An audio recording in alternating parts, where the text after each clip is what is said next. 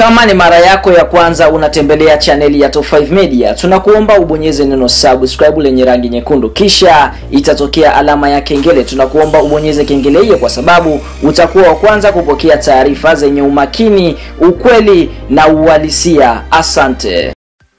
Yes bwana, mmoja kati ya habari kubwa ya kimichezo ambayo tunakusogezea mezani siku ya leo kutoka katika timu ya soka ya Yanga Sports Club ama machampions e, wa ligi kuu ya NBC katika msimu wa mwaka 2021 2022. Siku ya leo e, tunakwenda kukutajia orodha ya wachezaji ambao wanapokea mshahara mkubwa ndani ya kikosi cha Yanga Sports Club, ambapo orodha hii e, ni kwa mujibu wa takwimu na baadhi ya e, taarifa ambazo zimeweza kutolewa na uongozi wa Yanga Sports Club kuhusiana na mwenendo wa kikosi hiko ikiwa ni msimu mpya wa mwaka 2022 2023. Yanga Sports Club chini ya udhamini wa GSM tunaona wanalipa wachezaji vizuri, wanasajili wachezaji kwa mamilioni ya fedha. Kwa hiyo e, kwa upande mwingine fedha hizo e, zinaonyesha kwamba Yanga ni klabu kubwa, ndiyo maana kwa sasa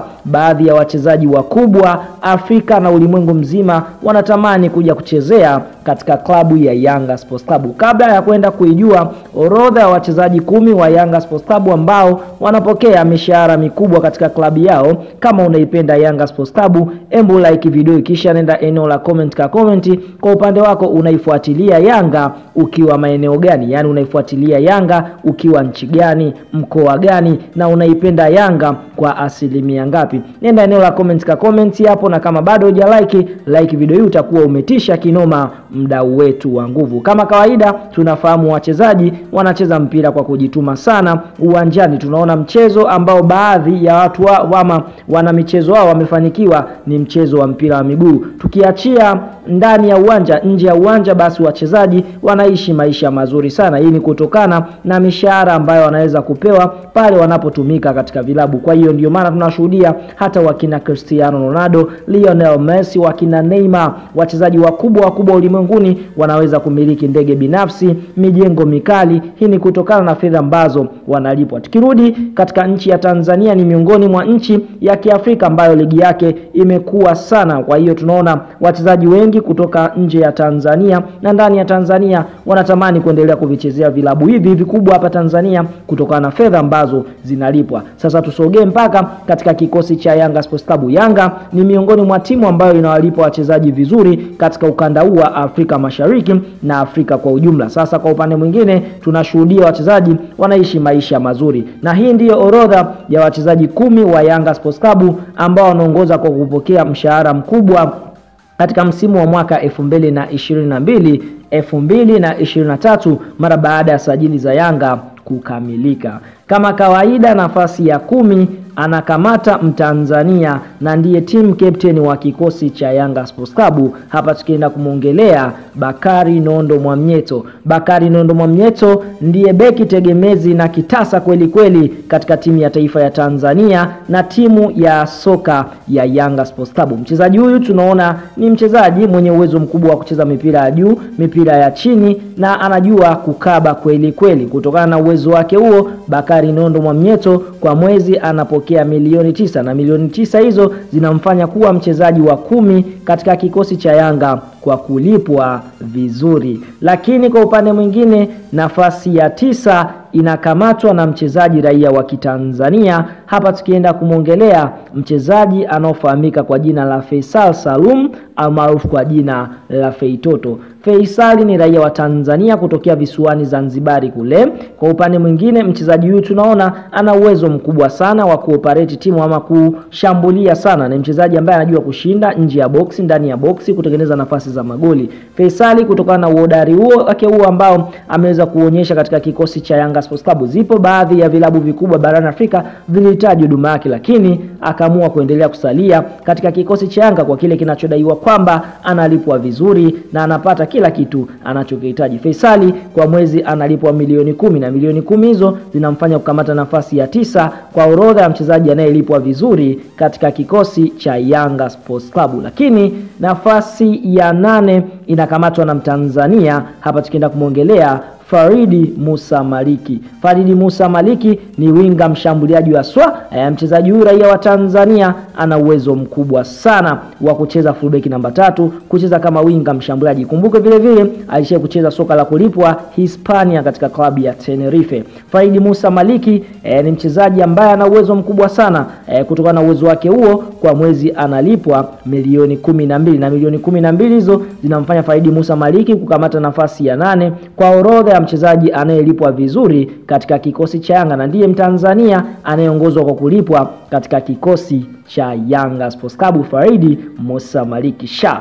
Lakini kwa upande wa Faridi Musa yeye anakamata nafasi ya nane. Nafasi ya saba inakamatwa na Halidi Aucho. Huu ni kiungo mchezeshaji ambaye kwa upande mwingine amejizolea umaarufu kwa kuitwa dokta wa mpira kwa utulivu wake aliyokuwa nao pale katikati ya uwanja. Halidi Aucho ni raia wa Uganda. Mchezaji huyu tunaona kwa upande mwingine ni mchezaji mwenye profile kubwa, na wachezaji wenye maprofile makubwa ndiyo wanaochezea Young Africa ama Yanga. Halidi Ucho kwa mwezi analipwa milioni kumi na tano. Milioni kumi na tano hizo zinamfanya kukamata nafasi ya saba kwa orodha ya mchezaji anayelipwa vizuri katika kikosi cha Yanga Sports Club. Lakini tukiachana na Halidi Ucho anayekamata nafasi ya saba, nafasi ya sita inakamatwa na golikipa Djigui Diara, Wetu wengi hupenda kumwita screen protector. Golikipa huyu ni raia wa Mali, ana uwezo mkubwa sana na ni screen protector kweli kweli, kutokana na uwezo wake wa kucheza mipira akiwa langoni. Djigui Diara ni golikipa ambaye kwa upande mwingine kila timu hapa Tanzania, Afrika kwa ujumla ingetamani kuwa naye, lakini ni Yanga waliobahatika kuwa na golikipa huyu.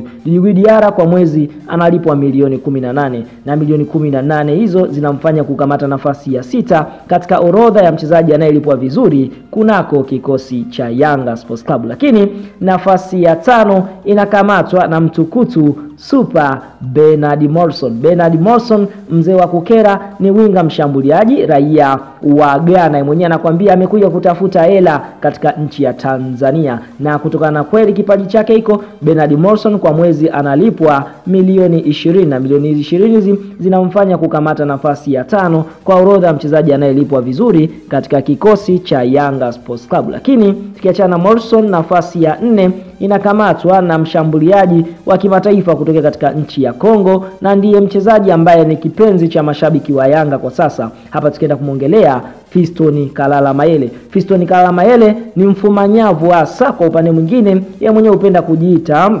rafiki wa nyavu adui wa magolikipa. Kwa hiyo Fiston Kalamayele kutokana na uwezo wake wa kupachika magoli, basi kwa mwezi analipwa milioni ishirini na tano na milioni ishirini na tano hizo zinamfanya kukamata nafasi ya nne kwa orodha ya mchezaji anayelipwa vizuri katika kikosi cha Yanga Sports Club msimu wa mwaka 2022 2023. Nne inakamatwa na Fiston Mayele. Nafasi ya tatu inakamatwa na Yannick Bangala Litombo. Yannick Bangala Litombo ni mchezaji kutokea katika nchi ya Kongo. Mchezaji huyu ana uwezo wa kucheza kama kiungo mkabaji namba sita, ana uwezo wa kucheza nafasi wa beki wa katikati namba nne, namba tano, zote anazimudu. Yani Kibangala Litombo kutokana na uhodari wake huo na uwezo wake wa kucheza, ambaye ameweza kuchukua tuzo ya mchezaji bora wa ligi kuu Tanzania bara, na tumeweza kushuhudia ameweza kuboresha mkataba wake na Yanga, ambapo amesaini tena mkataba wa kuendelea kusalia Yanga mpaka elfu mbili na ishirini na nne. Mchezaji huyu ameweza kuboreshewa na mshahara wake kwa sasa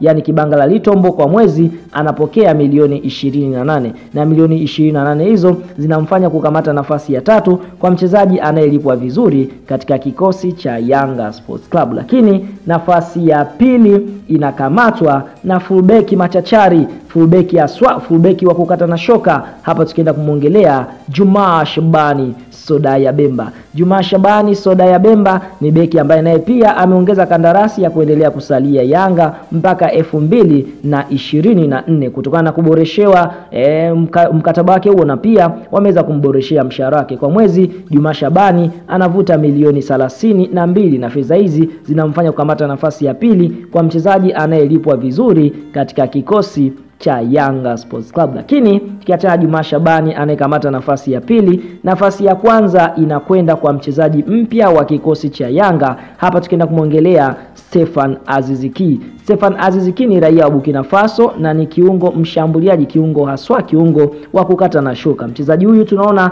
katika vita ya usajili Yanga walikumbana na baadhi ya vilabu eh, vikubwa barani Afrika, lakini kutokana na hela eh, yao usajili pamoja na mshahara ambao waliweza kumwekea mchezaji huyu ukaweza kumkomvisi kutua katika kikosi cha Yanga Sports Club. Kwa sasa eh, Stefan Aziz Ki ndiye mchezaji anayeongoza kwa kulipwa katika kikosi cha Yanga. Kwa mwezi analipwa milioni 35 na fedha hizo zinamfanya kuongoza kwa orodha wachezaji wanaolipwa katika kikosi cha Yanga Sports Club. E bwana, hiyo ndiyo orodha ya wachezaji kumi ambao wanalipwa vizuri katika kikosi cha Yanga. Tukianzia nafasi ya kwanza ni Stefan Aziz Ki akipokea milioni 35. Nafasi ya pili ni Juma Shabani akipokea milioni 32. Nafasi ya tatu ni Yani Kibangala akipokea milioni 28. Nafasi ya nne ni Fiston Mayele akipokea milioni 25 na nafasi ya tano ni Bernard Morrison akipokea milioni 20. Nafasi ya sita ni Djigui Diarra akipokea milioni 18. Nafasi ya saba ni Halidi Aucho akipokea milioni 15. Nafasi ya nane ni Faidi Musa Maliki akipokea milioni 12. Nafasi ya tisa ni Faisal Salum akipokea milioni kumi na nafasi ya kumi ni Bakari Nono Mwamnyeto akipokea milioni tisa kwa mwezi. Hebu anaenda eneo la comment ka comment kutokana na mishahara ambayo wanalipa Yanga. Taarifa hizi umezipokea vipi? Kama mdau wa soka, kama mwana Yanga, mwanafamilia wa Yanga, nenda eneo la comment ka comment hapo, na kama bado hauja subscribe, hebu subscribe, usisahau tu kulike video hii. Asante na share video hii katika magrupu ya WhatsApp ya wana Yanga kindaki ndaki. Asante kwa kuwa nasi, bye bye.